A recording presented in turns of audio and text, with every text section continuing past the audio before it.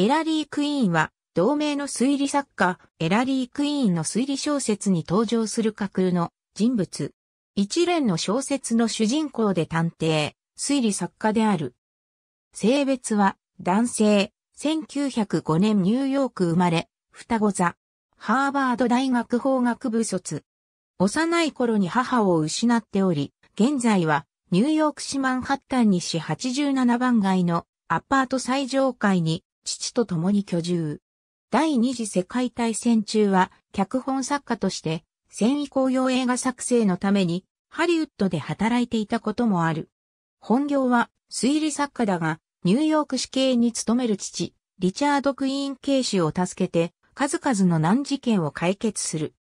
また、ハーバード時代の上流階級の友人たちや、ニューヨークの庶民階級の隣人たちの関わる事件も手掛ける、ハリウッドやライツビルといった他の都市でも事件を解決するなど、その活動範囲は質量ともに広い。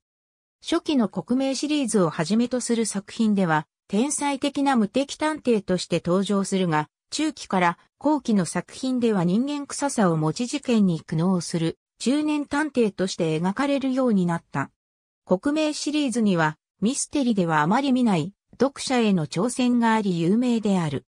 一見、名探偵は年を取らない典型キャラクターに見えるが、作が進むにつれ心理描写に過去への解雇や追憶など、老人らしい要素が増え、また他人の心理への洞察力も増えていく傾向がある。身長は6フィート、黒い髪、銀色の瞳、円なしメガネをかける。美顔鏡をかけることもある。洋服はイギリス製のツイード、軽いステッキを携帯している。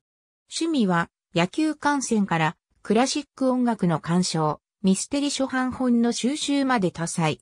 愛車はデューセンバーグとされるが、消えた死体ではキャデラックを常用しているなど、一概には特定できない。途中の作品から秘書ニッキー・ポーターが登場する。しかし、ニッキーは小説よりも映画やラジオドラマといった派生作品での出番の方が多く、またニッキーのイメージは登場する作品ごとに異なるところがあり、クイーンが同じ人物のイメージで書いたかは定かでない。なお、両者の関係はあまり進展がないままニッキーはフェードアウトし、また他のゲストヒロインとの進展もなく、結局エラリーは生涯独身で父と同居したままであった。ありがとうございます。